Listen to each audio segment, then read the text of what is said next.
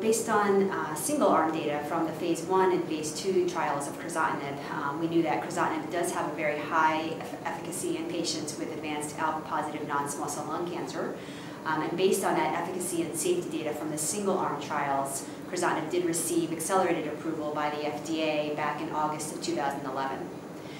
The data that we just uh, have published um, today is really data from the first randomized trial comparing crizotinib head-to-head with standard chemotherapy. All of these patients were previously treated with frontline chemotherapy, so they were technically in the second line setting, and these were ALK-positive patients who were randomized to receive either second-line crizotinib or a standard second-line chemotherapy, such as pemetrexed or docetaxel.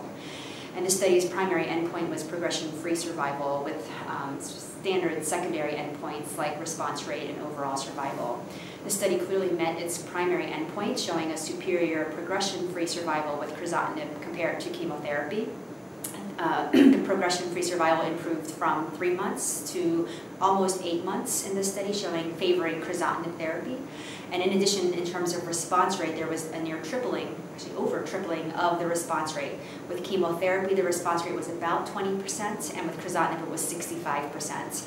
So this randomized data really confirms what we saw from the single-arm trial, showing very good efficacy, and also shows that in this group of patients who are ALK positive, crizotinib clearly is superior to standard single-agent chemotherapy.